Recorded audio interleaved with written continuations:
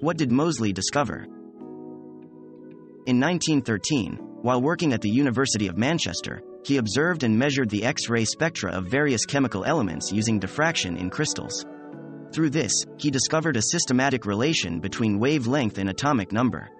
This discovery is now known as Moseley's law. Are there any missing elements?